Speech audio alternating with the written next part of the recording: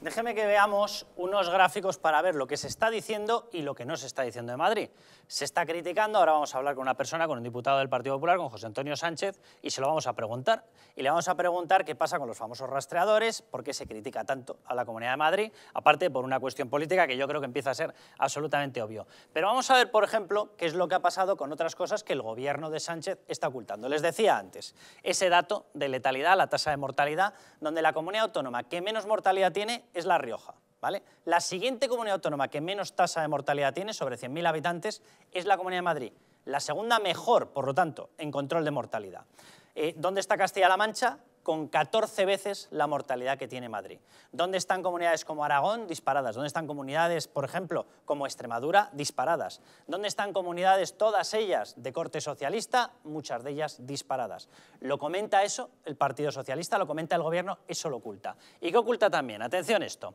Test COVID-19 acumulados a 27 de agosto. En test PCR. ¿Dónde está Madrid en realización de test PCR? La primera. ¿Dónde están el resto? Lo pueden ver es muy fácil de ver. Van apareciendo todas las comunidades autónomas, Castilla-La Mancha, que tanto dice que somos una bomba bacteriológica, una bomba vírica, aparece aquí. Hombre, no estaría de más que realizase un poquito más, ¿no?, en número de test. Lo digo teniendo en cuenta que es una de las que encabeza ese podium en quinta posición en letalidad, en gente que se le está muriendo, mientras, por cierto, el gobierno de su propio partido asegura que no estamos en una segunda ola, ¿vale? Atención a otras comunidades autónomas donde aparecen Navarra, de corte socialista, Aragón, de corte socialista, Extremadura, de corte socialista, y otras, Asturias, exactamente igual, Baleares, exactamente igual, vayan viendo ustedes y díganme quiénes están intentando proteger más, quiénes están intentando proteger menos. Vamos con otro gráfico de los que también oculta Pedro Sánchez. Ya saben que esto del ocultismo se le da muy bien, ¿vale? Pruebas realizadas es sobre el mismo baremo, totales PCRs hasta el 27 de agosto, comparadas ya directamente por 100.000 habitantes. Volvemos como Madrid tiene una población muy alta, aquí se nos pondera, pero aparece en 172. ¿Dónde está la media de España? En 136. Comenta, ¿Le han escuchado ustedes algo a Pedro Sánchez comentar sobre esto? ¿Le han escuchado ustedes decir que es una de las comunidades autónomas que más esfuerzo está haciendo en test PCR? ¿A que no?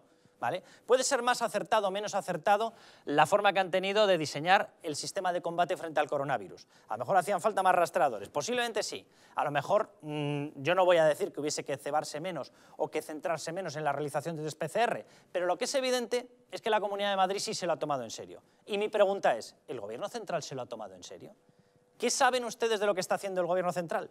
Saben si está realizando una campaña de cribado de test porque no la está realizando.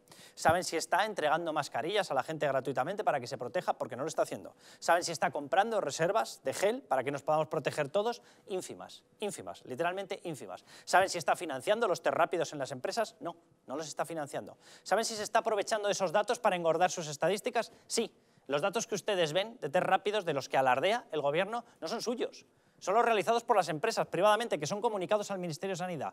Por tanto, la pregunta es muy básica. Uno puede acertar o no acertar cuando hace algo, pero cuando no hace nada, seguro que está fallando. El gobierno central en estos momentos no está haciendo absolutamente nada, Jesús Ángel.